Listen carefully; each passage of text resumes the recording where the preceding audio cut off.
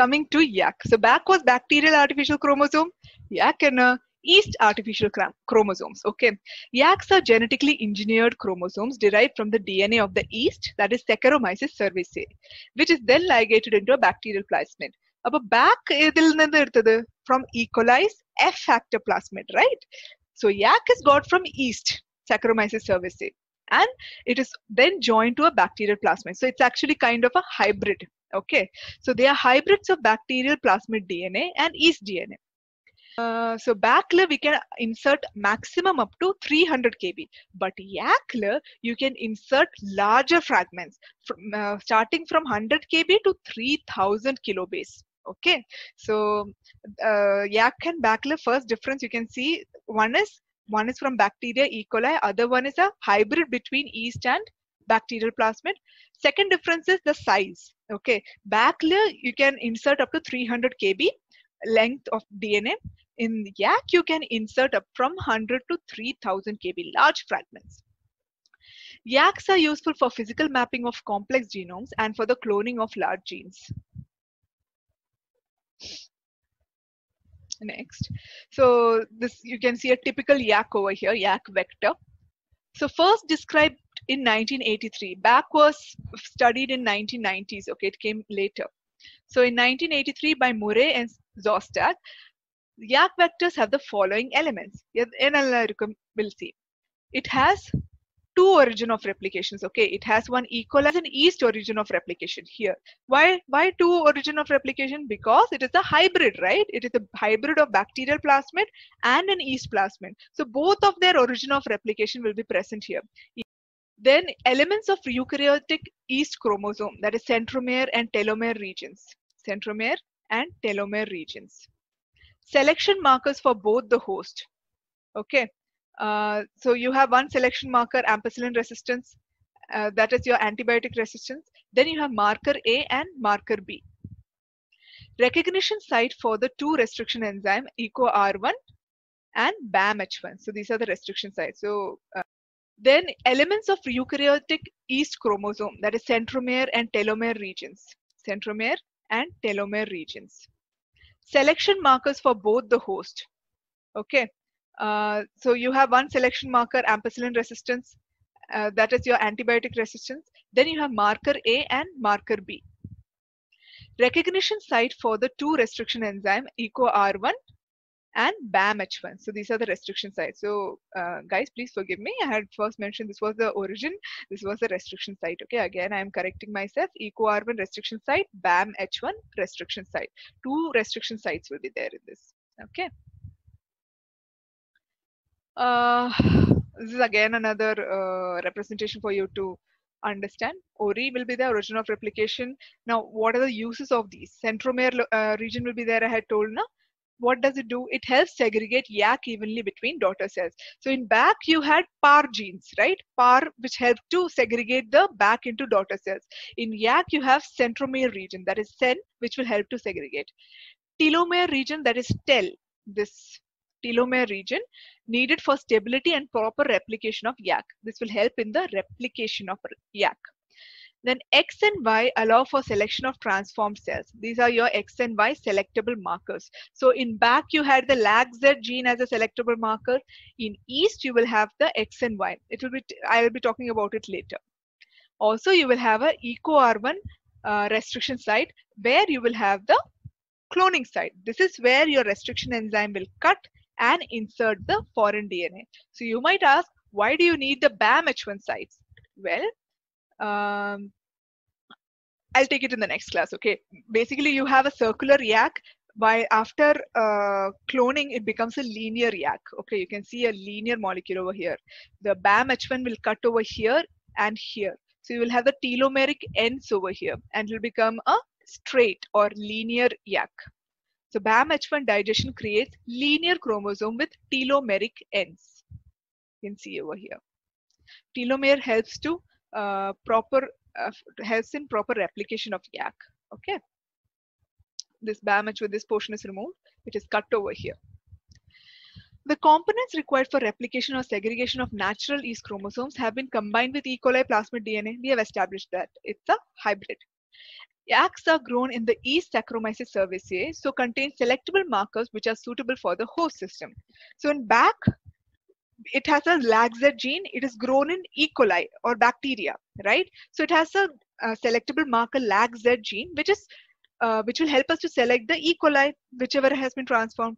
Likewise, in YACS, that is the East artificial chromosome, you will have a selectable mark, uh, marker specifically to be grown in East. Okay, so what is that selectable marker? So rather than an antibiotic selection, East selectable markers enable growth of transformant on selective media lacking specific nutrients. That is, non-transformants are unable to grow.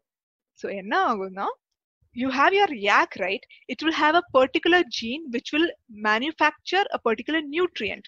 So, you grow your yeast cells in a media which is devoid of some particular nutrient so whichever yak cells do not have your uh, sorry whichever yeast cells do not have your yak vectors will not be able to produce that enzyme or will not be able to produce that particular nutrient and it will not be able to grow in the media.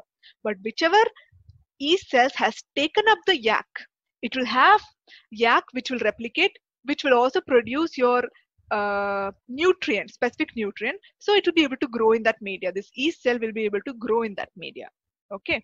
I'll explain it in the next slide so the yeast strains that are used are auxotropic that means they are unable to make a specific compound. Whichever yeast cells you're using one specific compound it will not be able to make on its own. That chromosomal dna of yak uh, cell will not be able to make it. So that is called auxotropic okay? Remember this term? It might be used somewhere. For example they have used the example of tryptophan okay? For example tryptophan 1 that is trip1 mutants can't make tryptophan just understand this. If you have something called trip1 mutants that means they cannot produce tryptophan. So they can only grow on media that is supp- supplemented with tryptophan. So only if you put tryptophan in the media then these trip1 uh, mutants can grow. Okay. Now if the mutant strain is transformed with yak containing an intact trip1 gene then this will compensate for the inactive gene or complement it and the transfected cell is able to grow on media lacking tryptophan.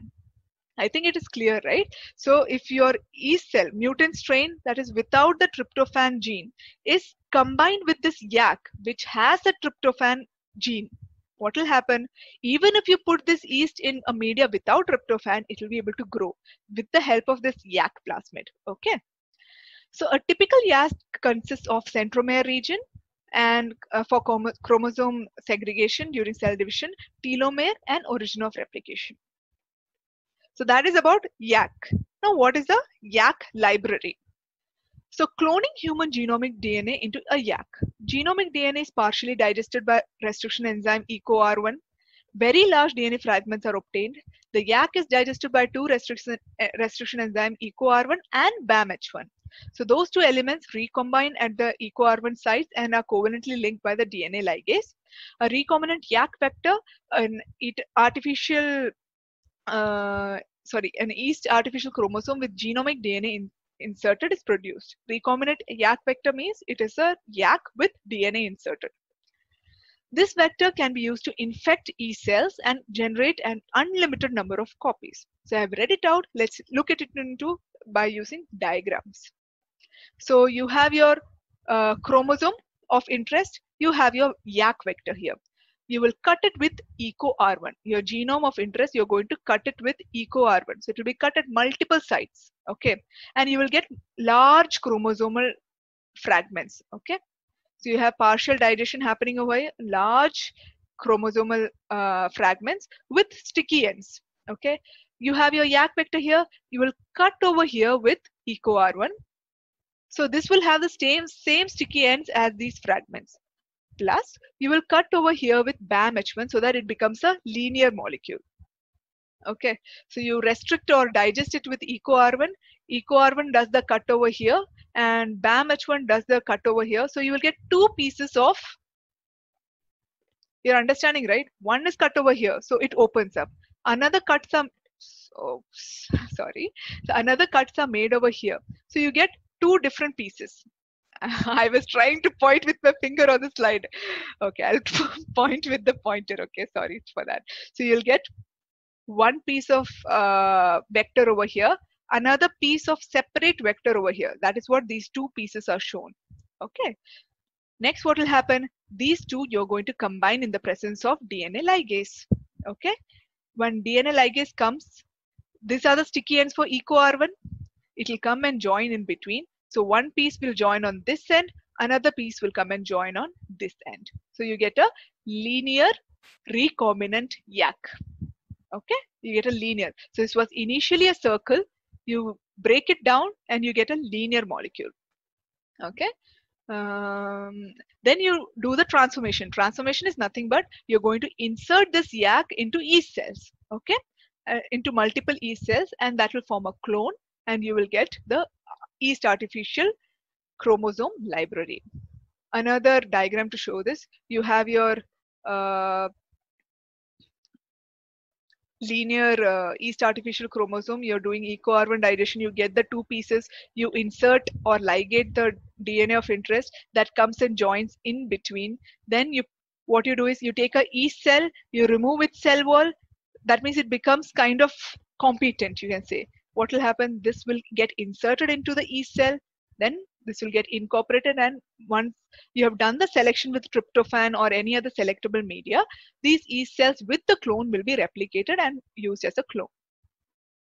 Another diagram where if you want a more clear picture, you can look at this one also. It's the same thing, okay? Same thing, restriction with EcoR1 and BAM.